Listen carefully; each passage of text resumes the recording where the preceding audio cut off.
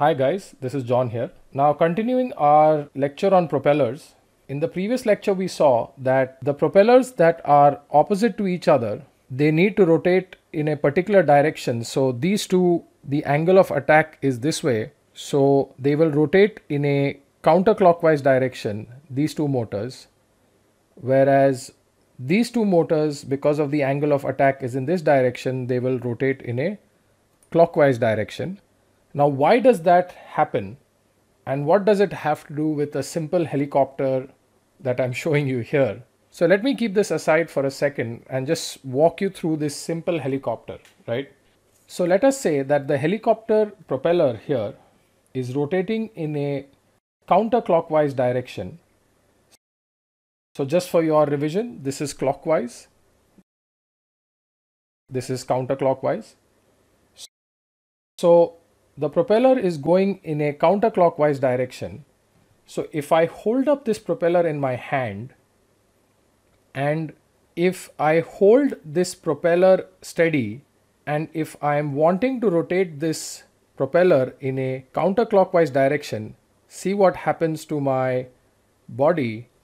My body starts rotating in a clockwise direction. The body as in the frame of the helicopter starts rotating in a clockwise direction. This is called as torque and that is why you see that helicopters have a tail rotor which effectively if my propeller is going in a counterclockwise direction to prevent the helicopter from going in a clockwise direction this rotor here pushes the air in this direction so that it's balancing the helicopter and your propeller is the only one which is rotating. What prevents a helicopter going round and round like this is the tail rotor.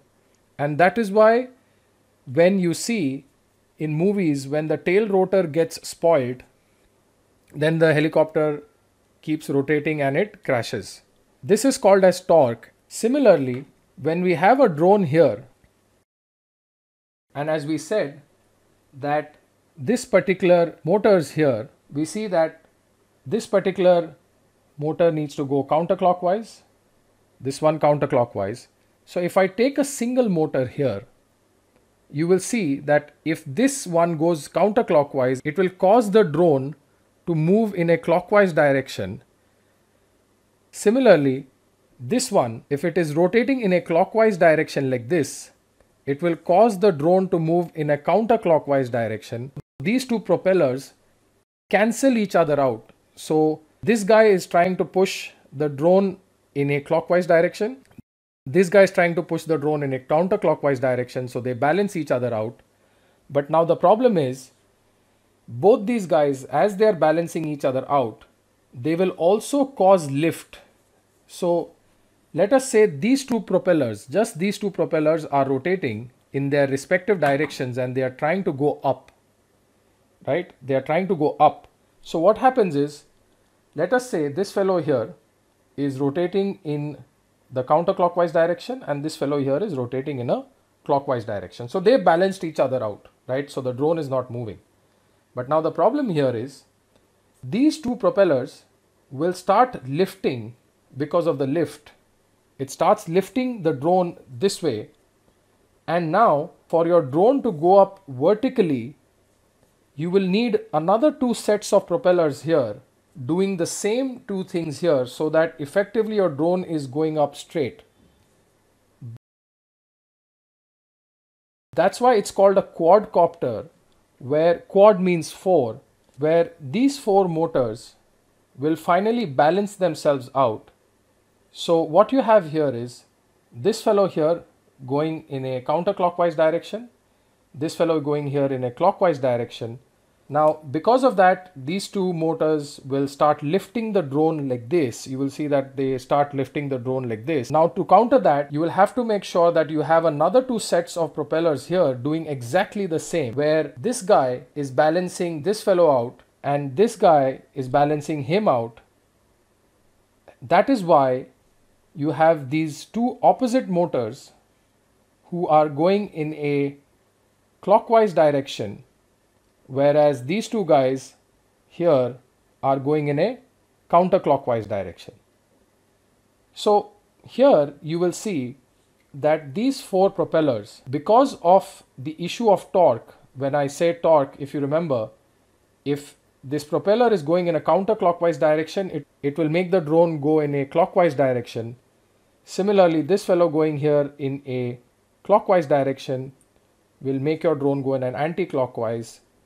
This one here going anti-clockwise will again make your drone go in a clockwise direction like this. And this one here going in a clockwise direction will make your drone go in an anti-clockwise. Now all these four guys will balance each other out. And now, if you remember from the previous lecture, there was a concept of lift. So each propeller is generating its own lift, which causes the drone to finally move up. So another concept that we had seen in the previous lecture was a concept of RPM. And the RPM was basically the faster these motors rotate these propellers. So if you remember, these are the motors and these are the propellers. The faster these motors rotate these propellers, the faster the drone goes up and comes down. That you've already seen in the last practical session on the simulator where we saw in the free flight zone, the faster it goes up and down. Now, so to summarize, in this lecture, we saw why are the propellers of a drone A opposite to each other and B they rotate in opposite directions as I showed you.